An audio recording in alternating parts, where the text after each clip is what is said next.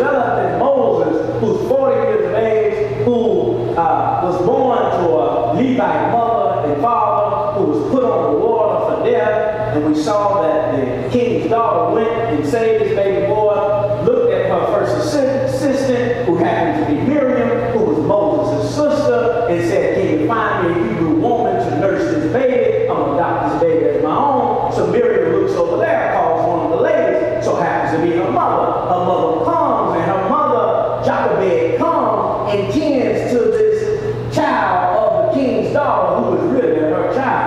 she has a symbolic moment of resur resurrection in her life. And so we see resurrection is in her life. She takes care of that child for a season. Then the child goes and becomes part of Pharaoh's house. As the child is part of Pharaoh's house, the child learns greater than 10 disciplines, such as science, such as hieroglyphics, such as mathematics, such as foreign languages.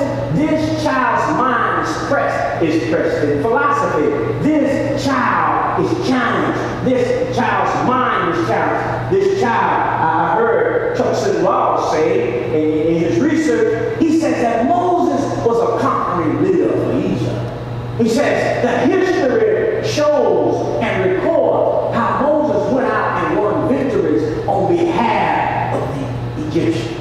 That he was a powerful figure. He was a learned man oh, over there in Acts chapter 7. Stephen, when he was being stoned, he said Moses had such a conversation. He was so persuasive. He had powerful words. You talking about the legacy. Now, what's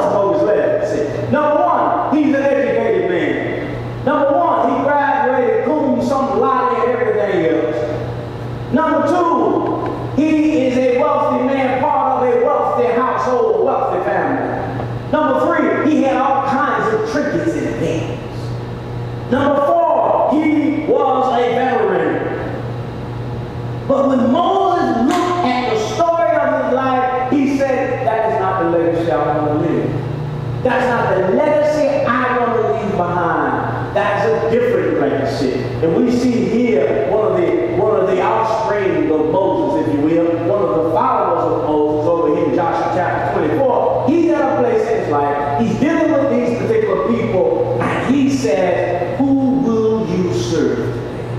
Who will be your God? Will it be God or will it be a pseudo God? Who will you serve? And so we find that Moses and Joshua have a moment where they think about legacy. The greatest influence is in the area of assignment. Now, how do I understand my area of assignment, Carol? How do I, Jaleesa, understand my creative purpose in life? Well, first thing I want you to understand is it's where God presses you towards. See, your assignment is such an assignment, God is going to press you in the arena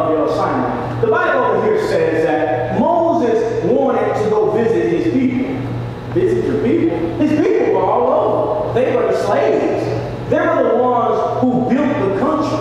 They were the backbone of the country. They were multiplying in higher number than the Egyptians, so it was easier to find Hebrew than it was to find an Egyptian. So what do you mean you're going to go visit your brothers? This is a different pressing in spirit.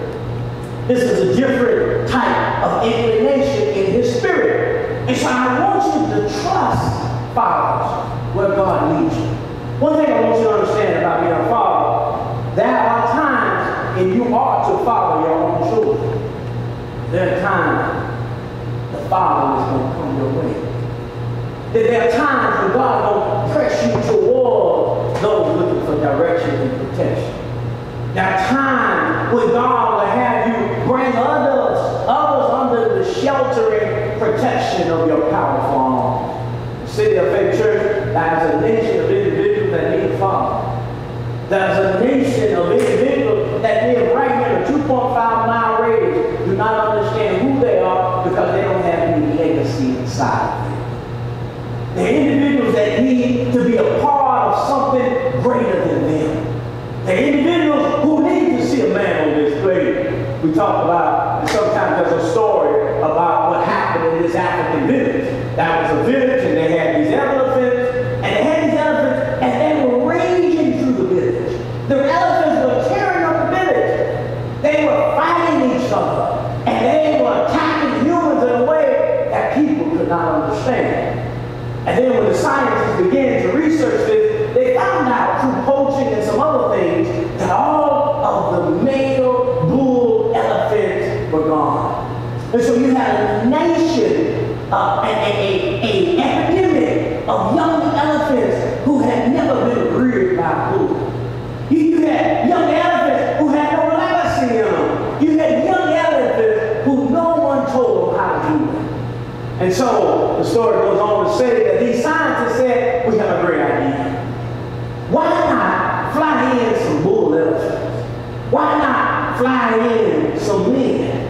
And why not take these men, these are not their sons, why not take these men, situate them in the midst of these teenage adolescents, if you will, in these elephants who think they big and bad. And so the story goes on, they took these elephants, they placed them in a time of history, they placed them in that village, funny things started happening. When the bull elephants start flapping their ears, when the bull elephants start kicking up dust, when the bull elephants start walking around like a man, funny thing happened to those rough and tough adolescent elephants.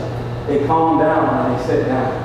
I want you to know that that is a nation wild elephants out here. You know, they do things like break into church. We had one break into this church over here. He needs a daddy. He needs someone to follow him. He needs legacy.